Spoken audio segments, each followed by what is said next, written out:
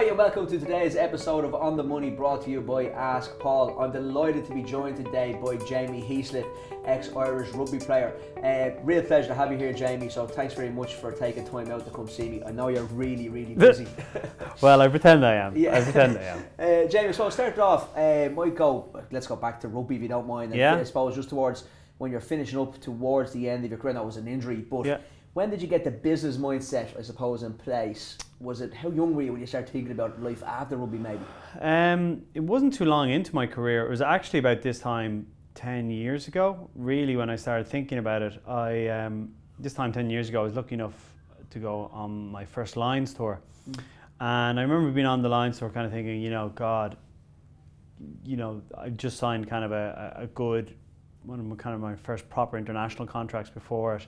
And I was kind of going like, you know, you know, this is kind of it, you know what I mean? Like I might get to the next World Cup and that's it because re- a study had come out from our players union where it said the average career length was um, six years, in, at that time, six years in Ireland and the UK, seven years, sorry, six years in France, seven years in Ireland and the UK. Right. And at that stage, I was uh, four years into my career. So I was like, oh, right, I'm on, that, you know, I'm on borrowed time. So um, I basically started kind of planning then, I suppose, or thinking about what it is I wanted to do um, or where I wanted to go or how I wanted my kind of work life balance to be post rugby um, and playing.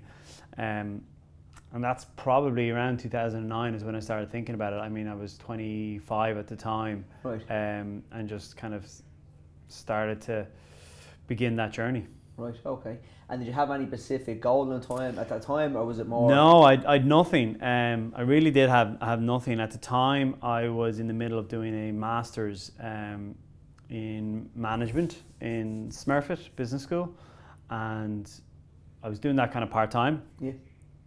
Um, I'd done previously. I'd done um, a degree in medical engineering in DCU, so but I, I didn't want to go into engineering, uh, but I like business, but you know it's kind of come full circle now because because I had the understanding of, of like one of the businesses I got into, for example, was because I had the understanding of medicine, Right. uh, biomechanics, uh, biology, um, and maths, and then also having a kind of a business type thinking in mind and strategy.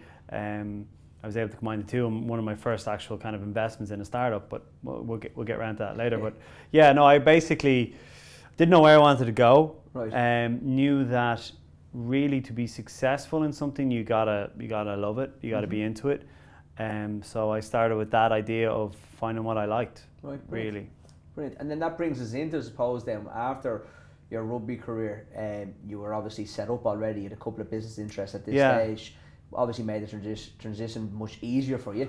Well, you Um, say that, yeah. but you weren't just stuck day after uh, yeah. thinking what I'm well, like do. I mean, it was funny. Like transition is is a really funny one because even though I was planning for things, like I was still like technically I was like my contract was running up until like n- now I was preparing for the World Cup. Right. You know what I mean? And I had intentions of playing for probably a year or two after the World Cup. Yeah. Maybe not at international level. I was probably going to play just club club Mm-hmm. rugby.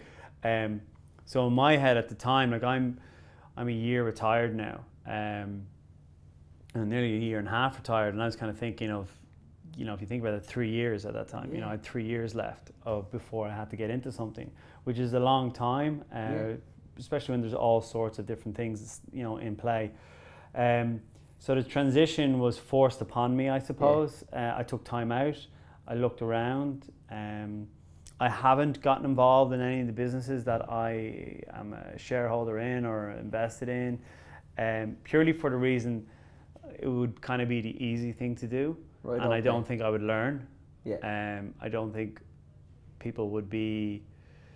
I well, not like you know. I just don't think I would get the real truth as opposed if I went somewhere where I'm not invested in, um, and that's kind of what I've done now. Uh, but long term, I would like to be back to kind of owning my own schedule, I suppose, at Right, some stage. Rather than having that kind of, not saying nine to five, but back into that kind of work part. Yeah, it? yeah. I mean, and it's funny because rugby is rugby is really, really Yeah. uh, scheduled. People don't realize they, they kind of think. I, I used to get a lot of like, oh, what do you do?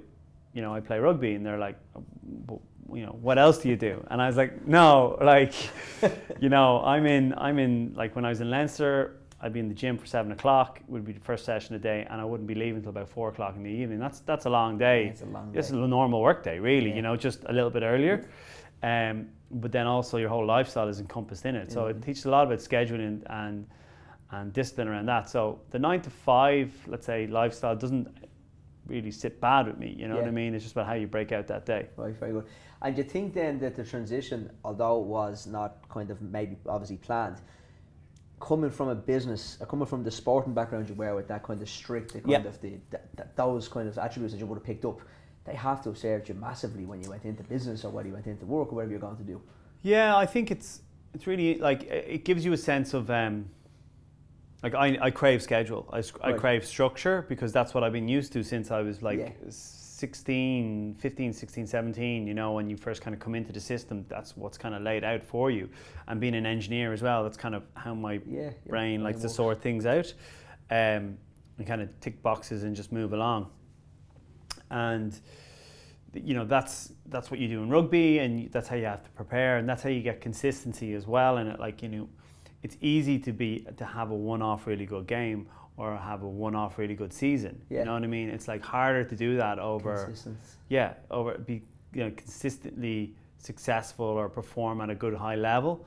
Um, and sometimes yes, you have to peak, and sometimes you know you kind of you bring it down a little bit. But it's it's what is your kind of your medium, Mhm. you know, and or median, I should say. Um, and that's kind of what it, it, it teaches you okay how do you how do you set up yourself for success you know and then you put a lot into the process you know what i mean it's all about that Yeah. process and, and being disciplined and structured and i bring that into rugby i bring that because rugby is all encompassing when you're professional and you know it's a lifestyle thing that just transitions really well into work life you know people talk about work life balance you know Yeah. it's it's just a kind of word now. yeah, I know. For me, it's just like that's just the way you know you can't the body. You can't separate the body and the mind. You, it's you're all in the It's one. the You one, know, you're yeah, on the yeah. one meat vehicle. You know what I mean? And it's all connected. Yeah, excellent. And would you have any advice, Jamie, for anyone that's maybe starting a career or uh, in, in relation to a sporting career, Yeah. professional sports? What would you not say what you did did, did, did you do anything wrong? What would be a kind of top tip that you give to somebody going through this cycle now? If you were maybe uh, late teens or early twenties. Oh, I was gonna say play golf or play play soccer. They pay way better, uh, less injuries. Golf, you can play well into your 60s and 70s on the Masters. Yeah, yeah, Um, So that's the tip. Don't, don't pick rugby. no, I love rugby, right? Um, and I think actually, you know, I, I, I I would love to get back into the business of the sport because it's, Okay. a, it's a young um, sport professionally. It's it's only it went professional, I think, in '96. Mm. Uh, in Ireland, not really till '97, '98. Um, and really in Ireland, like even I, I went professional in 2005, like, but it wasn't at the level that it's kind of at now till like 09, 10 in my book. Okay. Um, but I think it's it's turning a corner. There's a lot more stakeholders in the game. There's a lot more money coming into the game from broadcasting rights, Yeah. from TV companies, from big tech companies now. Um, sponsors are coming into it again. The Yeah. game is getting a little bit more. It's quite niche still, but it's still getting a lot more global. And TV as a content provider going forward is going to be one of the few ones that people still all tune in For en sport. masse Yeah. at the one time. Yeah. You know what I mean? And that I, I can't see that changing Yeah. because you still got to have 15 people in rugby, 15 versus 15 people on the field at one time. Yeah. You know what I mean? It's not you can't just you can record it, but like it's going to get out via social media. And n- news doesn't wait. The news cycle isn't 24 hours now. You, you know what I mean? It, you can't wait a day to get it in the paper or report in the Yeah. news. You know, um, it's all live now. You know, instantaneous information. Um, so sorry, there's a lot more money in the sport, and I think eventually you're starting to see contracts now of guys who are, you know, they're starting to touch on seven figures. Right. You know what I mean? Um, and hopefully that average will, will, will come up and up and up for the average player. Um, and then because there is some players who don't have to necessarily work, let's say, Yeah. you know what I mean, in the formal sense, post playing. But that is the, that is the top one Yeah, it's very small. Yeah. very very small people and in ireland even smaller because Yeah. if you think about it our actual commercial sponsorship market is very It's small Very small. Yeah. you know what i mean we've a population of what on the island, there's what five million, five and a half million. Five and a half million, yeah. Um, you know what I mean? That's Birmingham. 66 million over the UK. Yeah, it's it's a city. Yeah, yeah. You know what I mean? So our market here commercially is really, really small, and sometimes people forget that a little bit, uh, especially businesses, and that's Yeah. why a lot of the businesses actually invested in operate at scale and in different markets rather than very few of them are Irish centric. Yeah, For that reason, that you're kind of capped. yeah. You know what yeah, I mean? I understand. Um, so yeah, yeah. Very good. Um, and then let's talk about Flender. Uh, Yeah. So Flender is your big, so big kind of uh, ambassador for Flender, and you've uh, been involved in for, for quite some time Yeah, now. yeah, since the uh, start. Yeah, since the very Yeah. beginning. Uh, how did you end up there? First of all, if you don't mind me asking. Uh, Well, it's the world works in mysterious ways, doesn't it? Um, I've been itching to get into a fintech company for a long time. right. And for a while, I was looking at things like you know, um, currency fair was one. You know Right. those kind of those Yeah. kind of markets, Yeah. the currency exchange, Currency exchange. stuff, yeah. Um, and I was seeing what they were doing, and, and I was just kind of like, you know, if you look at the big banks, right, they are big le- legacy brands, Yeah. right, and they have there's a lot of fat on it, Yeah. on all of them. Big ship. Yeah, and they're really hard. They're oil tankers, man. Yeah, they are, And they're really hard to turn in a market. And if you see in all different uh, sectors across the board, not just banking, um, you could look at insurance. Uh, you could look at retail. Yeah. Everything's getting disrupted, Mhm. and particularly the big uh, brands, like legacy brands, are getting disrupted in, in a place because they because they have so much fat and it's very It's hard very to hard. turn. Yeah. You know what I mean? Um, and it's like even even really privately owned ones, like family owned ones, are finding it hard to turn. But some of them are making decisions a little bit quicker because they don't have as many stakeholders that they Yeah. have to run past. So they can they can do merge mergers and acquisitions a lot quicker, maybe necessarily, but. It's, it's, it's tough for them, you know, and I feel for them. Um, it's funny, I saw a thing on, on, I think I saw it on LinkedIn or Instagram or one of them recently, of like the top it's like the top 10 companies over the last like 20 years or something like that and they grow it's like a graph Oh, I seen it go. yeah, yeah how they grow Yeah, yeah, and you just see all the tech companies just Yeah, coming on yeah, out of nowhere and knocking people out completely. because they yeah. just don't have the legacy Yeah. issues now some of them do now like you mean some of them have you know tens of thousands of staff you know what i mean and, and i'm sure they will have problems when it comes to other startups that come into their space Mhm. but right now, I think like the banking space has been prime. You've seen it as well with N26, with uh, Revolut. Yeah. Um, uh, what's the other one? Uh, Men- Monzo. Uh, Monzo. I can't. I always forget the, the Yeah. third one. Um, and they're they're all in that space. Mondo. Mondo, yeah.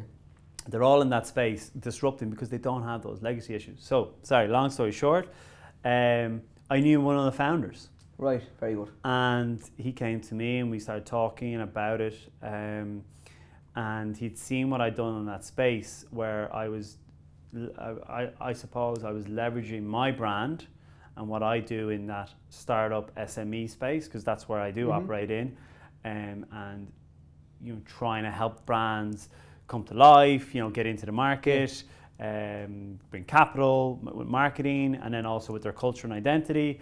And we got chatting about a couple of different things and yeah we decided to kind of partner up and, and go from there. And I just really liked the problem they were solving for a lot of SMEs which So yeah. let's let's take listeners and viewers through that, Jamie. So wh- wh- let's p- pitch Flender, uh, I suppose, out here to say where they are in relation to the banks and how quick Yeah. and easy it is to do business with them as well. I've done business myself, uh, and it's been amazing. So uh, I suppose, what what do you think your the USP is for them um, that you think would interest uh, you know, kind of small businesses?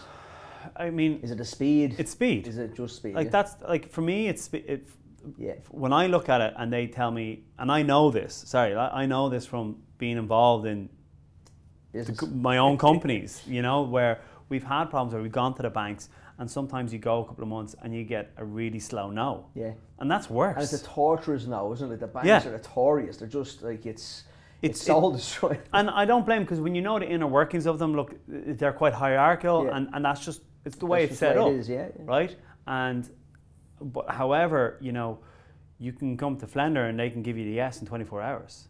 Yeah, it's amazing. You know what I mean? And Mhm. for whatever about being a big business, you might have the cash flow for that. Or you might be able to, you know, might have a credit note or something like that where you can go for that. You know, you can go, you can last 60 days or something Yeah. like that. You know what I mean? But for an SME or a startup company that's looking for money for, for stock or for I don't know, for anything they need for equipment or something like expansion, that. Yeah, ex- yeah, any sort of expansion yeah. and- or an opportunity. You know that they they might have landed a contract that they didn't realize they were Yeah. going to get or something like that. Now they've got to go into it and, and activate it.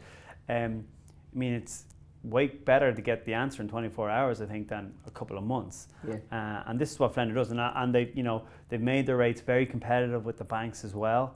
Um, and I think that's, you know, we're on, they're on a, a the same kind of level, uh, I Mm. think, anyway.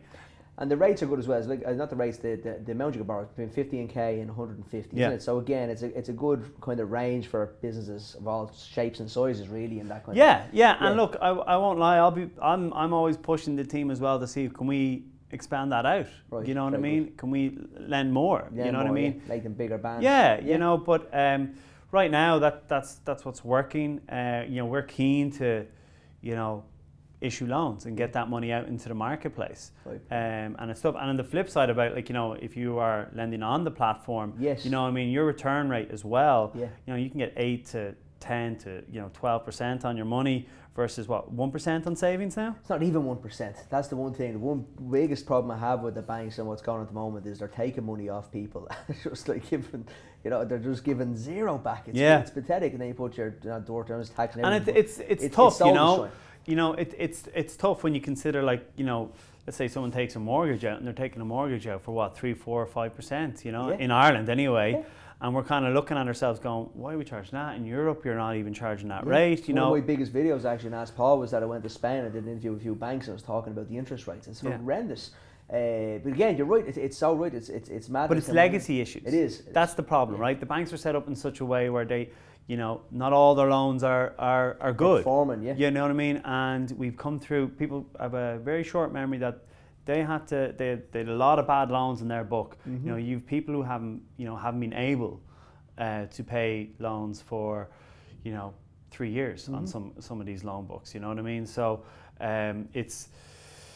You know, their business as well. You Yeah, know what I mean? is, So you, I, when you when you look at it from their side, you can understand why they have to do that, right? Yeah. But then, if you're an SME, then and there's another opportunity where, or it's not an SME, if you're just you know, Joe Bloggs in the street and Mm-hmm. you have money in savings and you want to get a better return rate on it, Yeah. you know, this is this is an offering for it. and take it Yeah. back that way. Yeah, that's a, it's a really really good idea.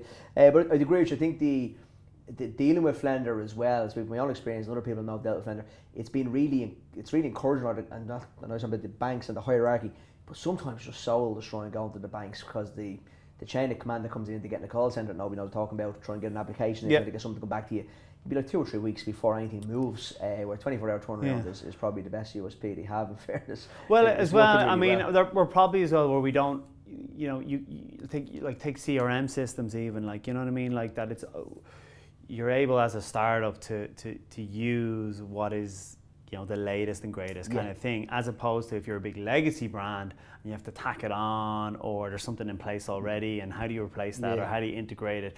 You don't have those kind of issues. And then your other business interests, uh, Jamie. Yeah. What, what else have we got going on at the moment? We don't mind sharing a Um, yeah, uh, I'm happy to plug whoever, you know. Uh, no, I, like a lot of the businesses I've, I, it was actually I had a nice moment because I think I worked it out in the different businesses that I've uh, invested in.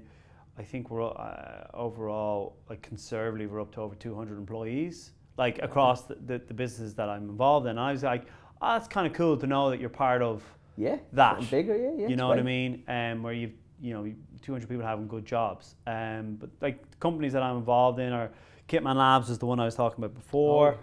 Um, Is uh, that one of the first ones you got involved yeah, with? yeah. One the, the very first one is I I gave uh, was Bear Restaurant, Oh, which yeah, is around the corner, yeah, and I was in Bear for about I was in that for about two and a half three years, and then I got out of that. Um, and then Kitman was one my proper first startup investment. Right, very good. Um, very interesting, a lot of learning, and then I've gone into um, a bit of publishing slash content creation through uh, Lovin Media Company. Um, I got into Pointy, which helps a lot of mom and pop shops um, kind of get online, I suppose, for want of a better very word.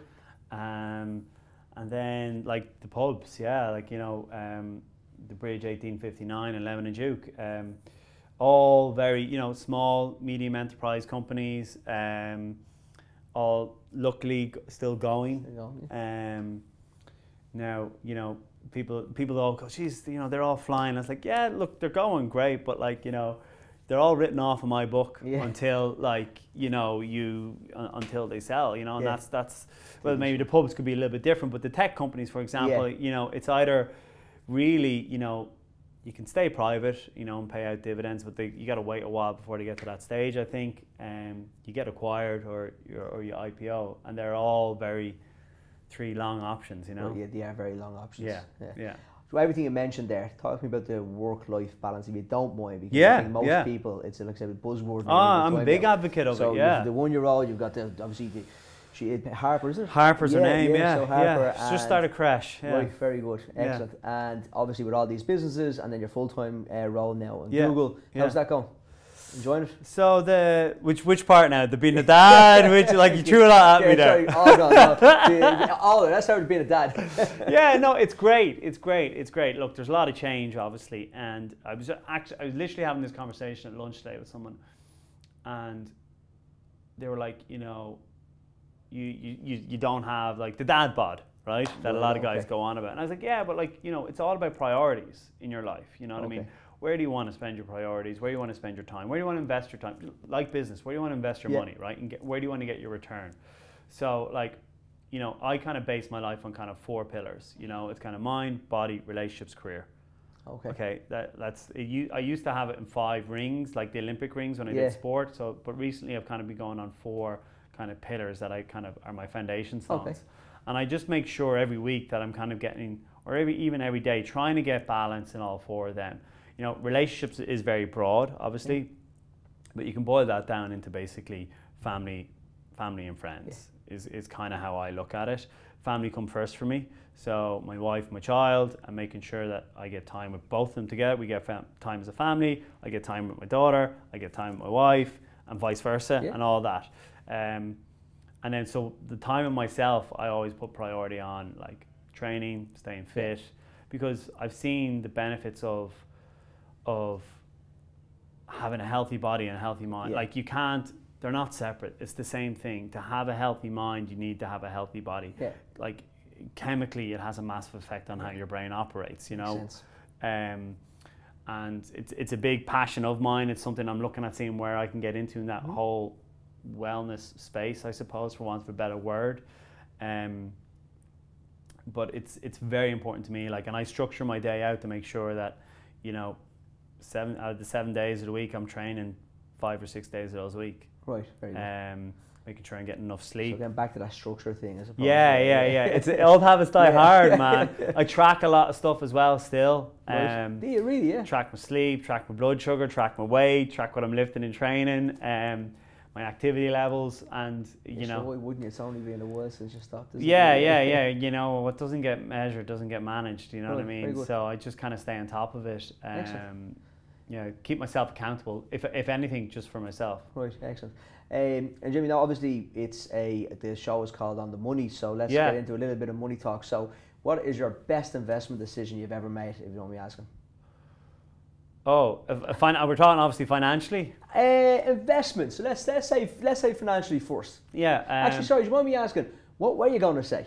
If it wasn't well, like I mean, so like what's the best investment I mean, in your mind? You never hear someone on their deathbed going, "Oh, I wish I spent that money." Or, I Yeah, wish I put money 100%. there." I mean, it's where you know, it's it's time with friends. It's like I actually read a really good book, and it's a really short read called Happy Money, Okay. and you know, a lot of the he gives a lot of tips on like how to spend your money to get actual happiness, and they try and measure happiness. Very good. Um, and a lot of it is like, you know, on experiences and experiences with friends. Also, a lot of it is like kind of basically outsourcing stuff that you don't necessarily want to do or you're able to outsource. So, if you're able to outsource your house cleaning or Yes. your ironing Yes. or something like that, you know, something that gives you your time back Yeah. um, Totally is a really good investment.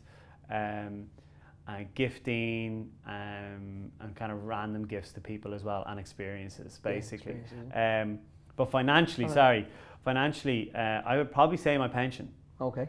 I started my pension at 21. Well, very good. Um, and I was able for a good few years to be able to max it out over the years Yeah, as especially well. as a sports person with Yeah. the Leafs. Yeah, it's great, isn't it? Um, Yeah, yeah. I mean, um, my understanding is that you know, as a sportsman, you're uh, you're able to get access to it uh, a little bit earlier, Yeah, indeed. yeah. um, to, for a percentage of it to come back. Back, yeah, you get your retirement on it. Yeah, um, and that's that's why I do it. And also, when you see the compound interest effect, especially when you do Yeah. it so early. Tax relief.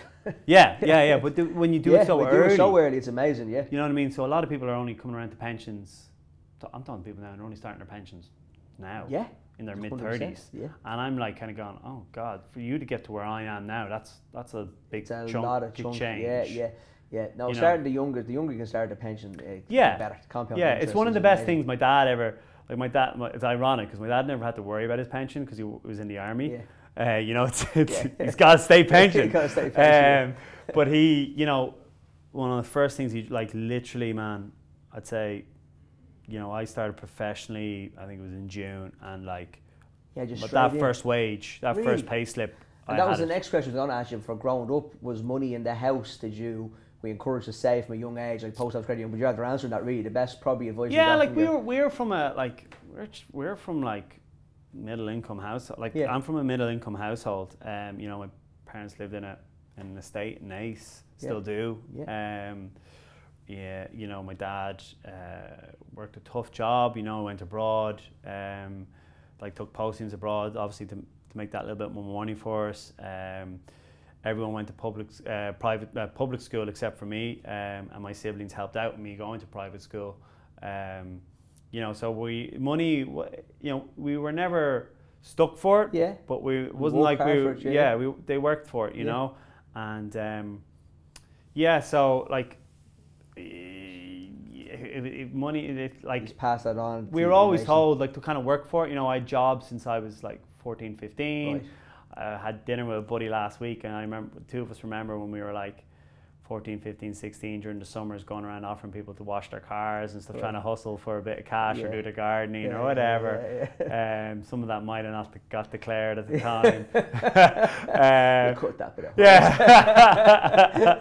I don't think they're coming after me for 100 euro back in 2001. like- the pounds, what- Yeah, whatever it was. yeah. No, it was in school, so you're right. Yeah, it was pounds back then. It was in the nineties. Um, but no, like it's it's working hard for your money. Yeah. Is is probably what I, I, I was I was taught, and and to try and think, you know, get cover the basics, like invest, you know, cover your health, cover your long term kind of vision, and and have a bit of security. Right, very good. So, Jamie, what's the worst investment decision you ever made? I mean, stick to it maybe financially for this one. Worst. I bought an apartment in 06 and a house in 08. That's easily over. Uh, Okay, saving yeah, grace is that timing, yeah. saving grace is that they were on a tracker. Oh, yeah. Um, Great. But Kept them um, alive.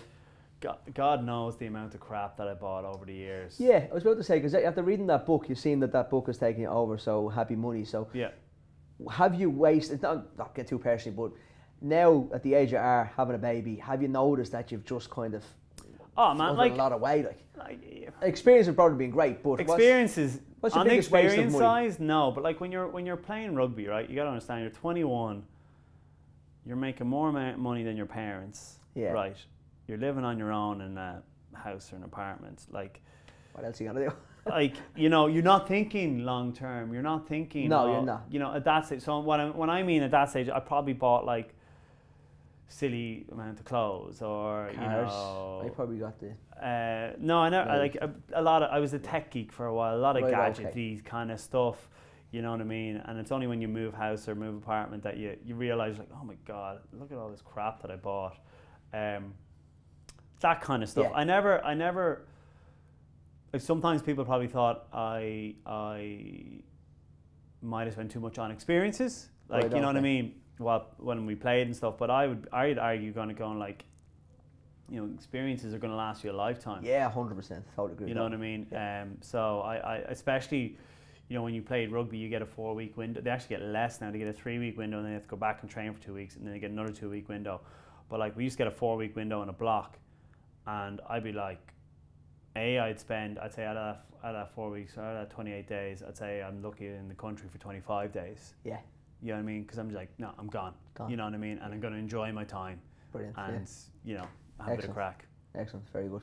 Uh, Jamie, what's the future hold? Uh, That's a good question.